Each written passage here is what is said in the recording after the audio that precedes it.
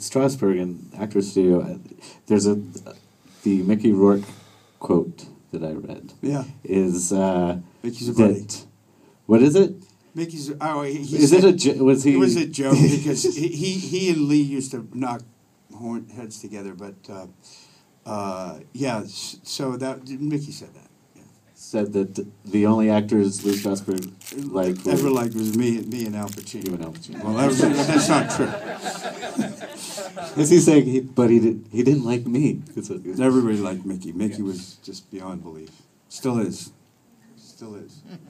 Um, so, back um, yeah, to get back to the Deuce. Did you do you did you spend any time in the Times Square area? And Times Going- Square, or you mean Sunset Boulevard? no, no, in here in New York, in Times Square, in the Times Square area, and seeing movies or I have to tell you something. I just did a movie with Jeremy Iacone, who who wrote The Bone Collector, which I was in, and um, it was a very unusual movie. Now I'm an older guy. I'm beat up, and this is a movie about an old beat up actor, which is apropos, losing his mind, which again works on a lot of levels. So we shot this thing very freeform and wild, and I and and to talk about Times Square just in June uh, a film crew following me around as I'm in, in, in a, you know, delirious improvising with everybody. I've never shot just on the completely on the uncontrolled event before. But as far as 42nd Street, I watched the changes. I was disappointed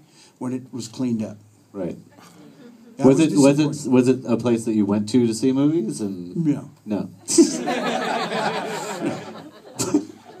I stayed on the Upper West Side where it was safe.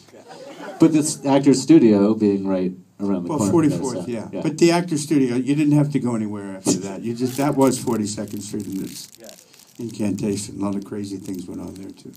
Great things actually. Yeah. Great things. um,